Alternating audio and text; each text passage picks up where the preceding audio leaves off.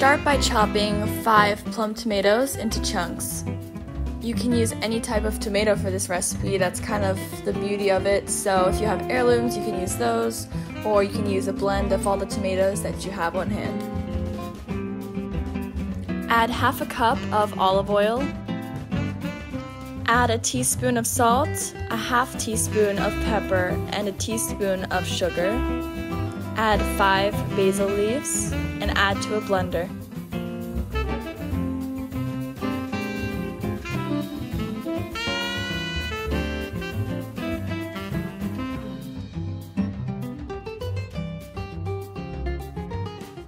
Chop up a cup of onion and we're going to be adding that to our saucepan.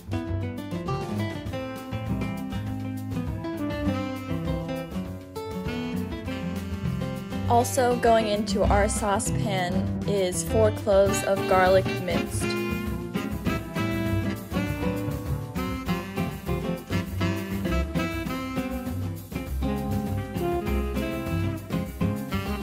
Lastly, going into our saucepan will be two bell peppers. Today we only had green peppers, but this recipe would do really well with our yummy peppers, red peppers, or yellow peppers.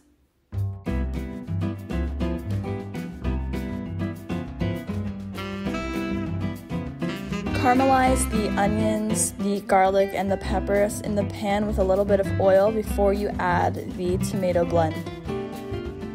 After you've added the tomato blend, just saute it for a few minutes and then set it aside and you can use it for anything you like.